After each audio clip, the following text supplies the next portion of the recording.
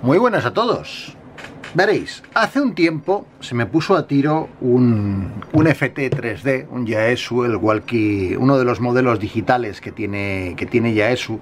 Y aunque en principio yo no soy muy amigo de, de los modos digitales, pues bueno, mm, cedí a la tentación y me hice con él, un walkie que la verdad me tiene muy, muy contento y muy satisfecho.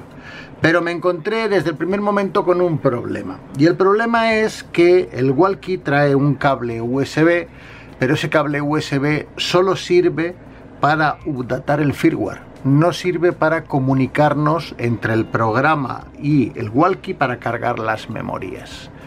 Así que después de analizar varias posibilidades, he terminado haciéndome con un cable teóricamente compatible y vamos a ver qué es lo que pasa.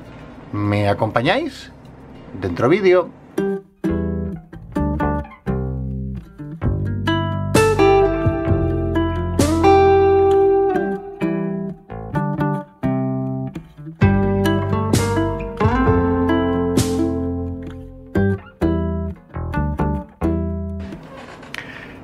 Caso es que, como os digo, eh, Yaesu aquí ha hecho una jugada un poco extraña, ya no solamente con el FT3, sino con otros modelos. Y se trata de este conector.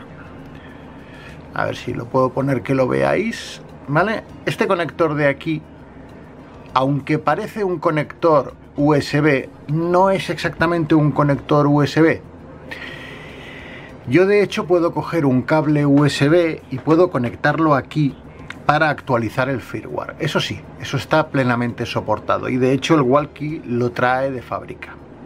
Pero si quiero cargar memorias y manejar la configuración del walkie desde el ordenador, me encuentro con que ese cable no me sirve, ese cable no es. Porque aquí hay un pinout que es ligeramente distinto al de un USB. Digamos que es compatible, por un lado, para un cable USB para un propósito y para un cable distinto con otro propósito. Y de hecho, tiene, a ver si os lo puedo enseñar, porque la imagen es un poco pequeñita, ¿vale? Pero tiene un interruptor aquí, escondido, con dos posiciones, una para actualizar el firmware y la otra para comunicarse con el equipo de cara a lo que es la carga de memorias y demás. Una manera de salir del paso es utilizando la tarjeta micro SD. Si yo cojo la tarjeta micro SD, la pongo en el ordenador, puedo grabar aquí la configuración del equipo, luego traérmela, ponerla en el walkie y utilizarla. Pero es un poco coñazo. ¿Vale? Y si tengo que estar haciendo cambios frecuentes no se acaba nunca. Bueno, lo lógico sería ir y comprar un cable de Yaesu. El cable es el SCU19 que vale aproximadamente unos 30 euros. Ya, bueno, me parece un poco caro, la verdad. Pero bueno, vale, se acepta. El problema es que no se encuentra. Ese cable no, no consigo dar con él, con el cable original en ningún sitio. Y como alternativa te dicen que utilices el SCU39 que vale 60 euros y que contiene el mismo cable que valía antes 30 eh, junto con otros cables de audio para lo que es la conexión Wires, si la quiero conectar a un dispositivo externo y demás. El caso es que, bueno, evidentemente esto pues no, no me interesa. Y mirando, mirando, mirando, incluso encontré otras casas que tienen cables compatibles, pero ya se van a los 80 y 90 euros. Y la verdad, yo no sé vosotros, pero a mí me da dolor de barriga por un cable pagar 80 euros o pagar 60, incluso me da un poco de dolor de barriga pagar 30.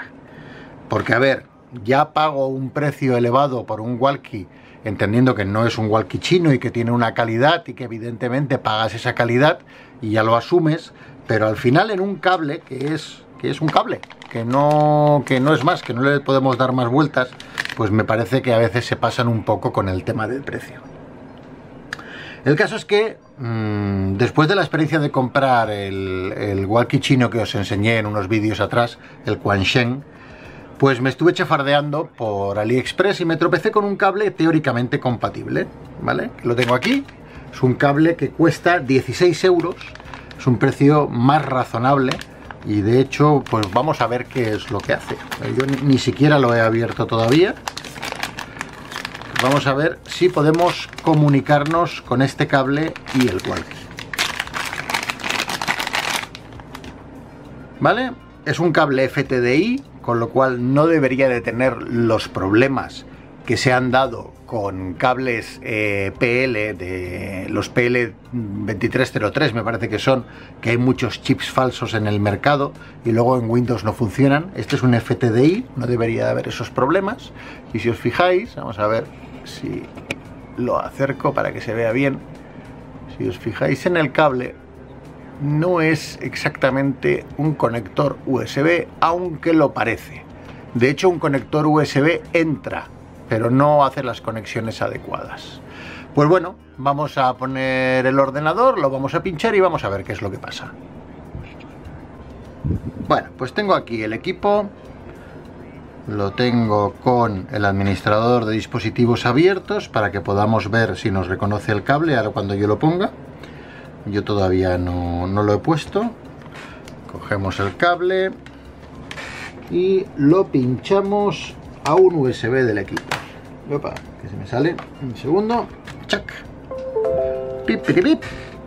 Me dice que ha encontrado un puerto FT231X USB UART y me lo ha marcado aquí con un simbolito de advertencia que me dice que no tiene controladores para este dispositivo. Bueno, vamos a ver. Como suele decirse, vamos a probar primero por las buenas. Bueno no puedo encontrar controladores. Vale, vamos a ver. Vamos a buscar por otro lado. Venga, quiero que me busques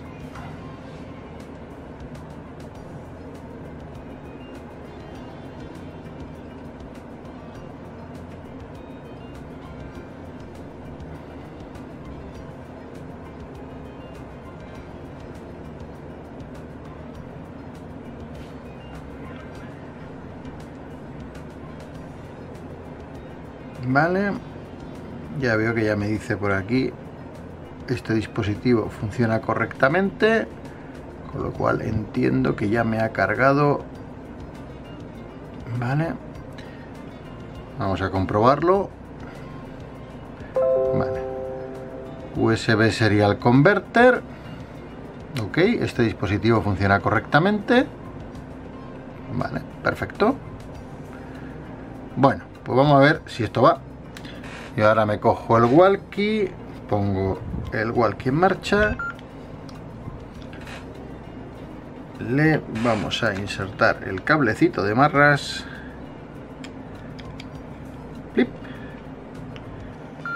Ya lo tenemos aquí puesto.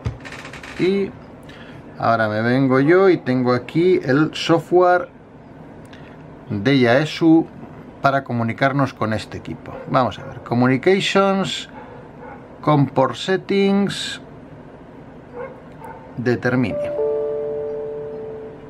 Ah, perdón. Communications, Comport Settings. Vamos a ver cuántos puertos hay aquí. 6, 7 y 8. ¿Cuál será? Será, pues probemos uno. No, no quiero que te reinicies ahora fuera.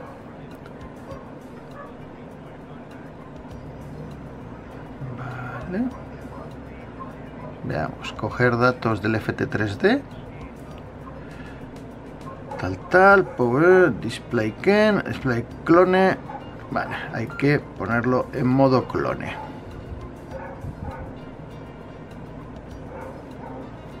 O sea, hay que ponerlo en marcha con la tecla display y el power. Y ahora está en modo clone. Ok. Enviar send. Mm-hmm. timeout error. Puede ser que no tenga el puerto que toca. Vamos a ver. Hemos dicho com 6 com 7 bueno acabaremos antes y me lo miro no puertos com. USB es el 8 vale. Si me lo hubiera mirado antes me habría ahorrado eso. Como 8 y vamos a probar de nuevo. Communications get data. Vale. Le damos a ok. Y le damos a send en el walkie. Y funciona. Al menos está recibiendo datos, que no es poca cosa. Lo cual implica que el cable parece funcionar correctamente. Vamos a ver al final qué nos descarga. Este walkie tiene muy poquita cosa programada, porque como tenía que hacerlo con la tarjeta micro SD era un poco coñazo.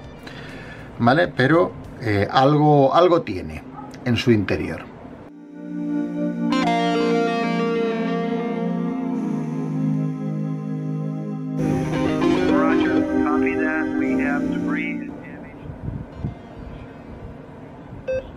Vale, ok, ya lo tenemos. Close. Y efectivamente me ha descargado aquí una serie de memorias que yo en su momento le había introducido.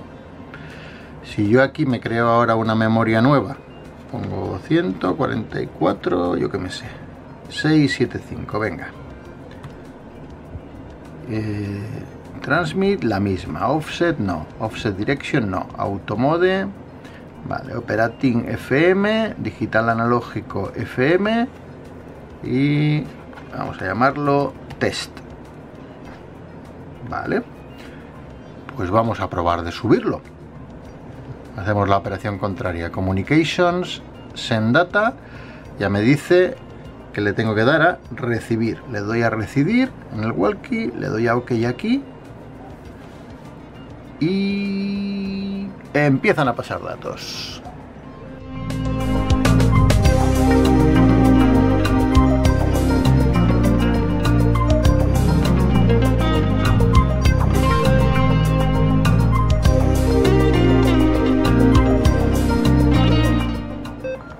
Ok. Y ahora si cogemos el walkie, pues fijaros que ya tengo aquí perdón, este es el VFO, pasamos a memorias y igual que tengo yo aquí otras cosas memorizadas, ahora tengo que tener aquí, efectivamente, una memoria que se llama test, grabada y que hemos pasado correctamente desde el ordenador hasta el walkie gracias al cable de datos. Pues la verdad, lo siento, señores de Yaesu, en este caso la alternativa está clara. Me gusta mucho su walkie, sinceramente. Me parece un, dispositivo excelente. Eh, pero el precio de los accesorios es desorbitado para algo que al final no es más que un conversor eh, USB a serie y tener los conectores adecuados. Con lo cual, está claro que yo por lo menos no me voy a comprar el cable original de Yaesu. Y bueno, por hoy poca cosa más, la verdad. Quería enseñaros esto, no siempre estoy con el soldador en la mano. Y bueno, tengo varios walkies, evidentemente me interesa poder tenerlos todos programados. Yo uso Chirp normalmente como software de programación para tener todos los walkies con la misma memoria y me faltaba poder tener el FT3 eh, precisamente por la falta de cable. Solucionado el tema de cable, pues una cosa menos.